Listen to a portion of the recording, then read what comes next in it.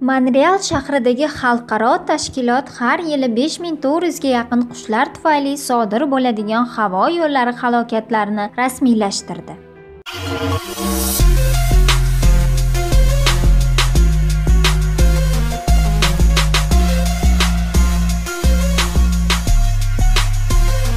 xo'sh samolyot dvigateliga qush kirib qolsa nima bo'ladi?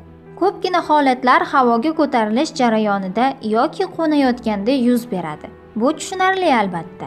Baland uchayotgan qush bilan samolyot to'qnashishi mumkin, lekin qushlar gavjum bo'lgan hududga kirish xavf tug'dirishi ehtimoldan xoli emas.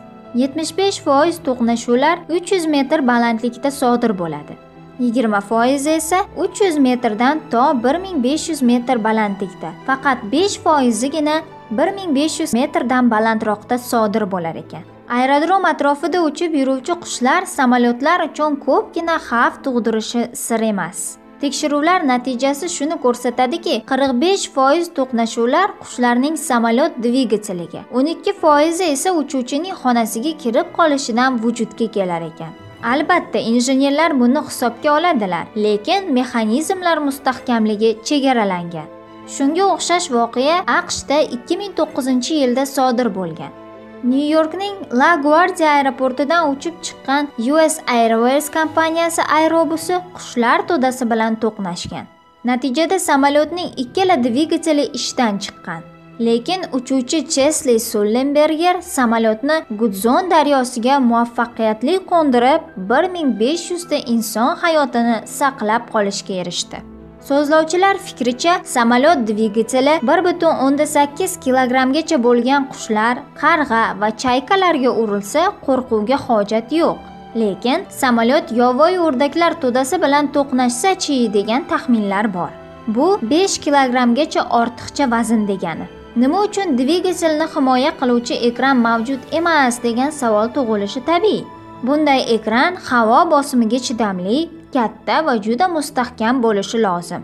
Agar zarbga chidamli bo'lmasa, dvigatelga faqat qush emas, hatto metall bo'laklari ham kirib qolishi mumkin. Masalan, qushning og'irligi 1.8 kilogrammni tashkil qilsa, bu qo'rqinchli holat emas. Lekin samolyot tezligi soatiga 320 kilometrni tashkil qilsa, 3200 kilogramm, soatiga 960 kilometr bo'lsa, bu 28800 kilogramm degani.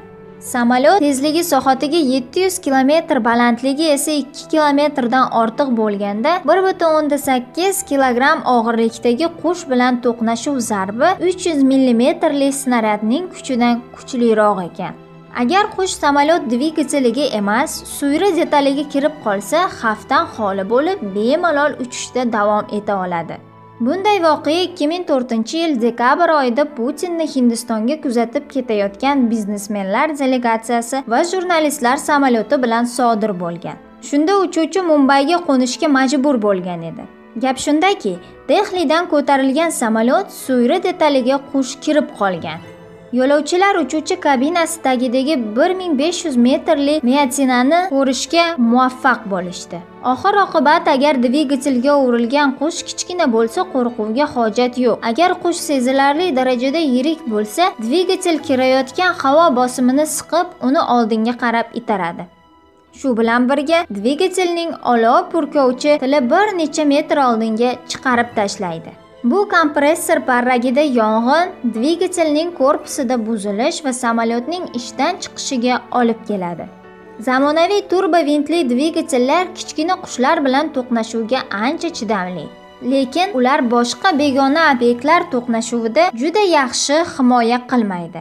Asosan juda katta tezlikda aylanuvchi parraklarga urilsa, qushlar dvigatelni to'sib qo'ya olmaydi. Ammo ventilatorini, parraklarini qiyshaytirib yoki sindirib dvigatelni ishdan chiqishiga olib keladi.